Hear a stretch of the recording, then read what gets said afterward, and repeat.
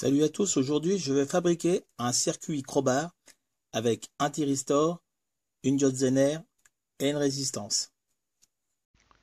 Le circuit crowbar, c'est un circuit de protection contre les surtensions. Il se branche derrière une alimentation. Ses principaux composants sont un fusible, une diode Zener, une résistance et un thyristor. Ici, nous avons un condensateur de filtrage qui peut aider pour les faux déclenchements du thyristor. Ce condensateur sert à éliminer les pointes de tension et ainsi les faux déclenchements du thyristor.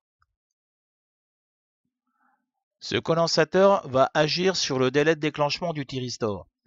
On peut donc euh, ajuster sa valeur ou le supprimer. La valeur du fusible doit être légèrement supérieure au courant demandé par la charge. On va choisir la valeur de la diode Zener en fonction de la tension maximum que l'on désire en sortie. Voici le fonctionnement. Donc si la tension d'alimentation dépasse la tension Zener, celle-ci va devenir passante. Ensuite, un courant va arriver jusqu'à la gâchette du thyristor et celui-ci va devenir passant. Cela va provoquer un court-circuit et le fusible va sauter. Et ainsi notre charge sera protégée contre une hausse de tension. J'ai monté mon circuit crowbar sur une breadboard. Donc ici j'ai l'entrée, c'est l'alimentation.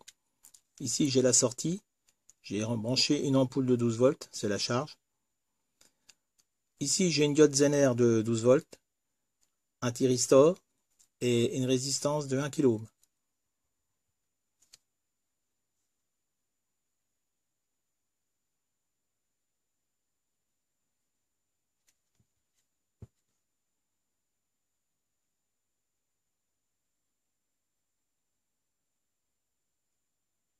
Je vais alimenter mon circuit et on va voir à quel moment il va couper.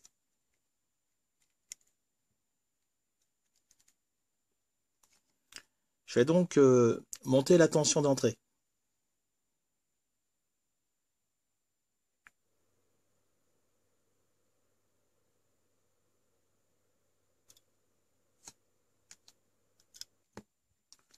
Il a donc coupé à 12 volts 6.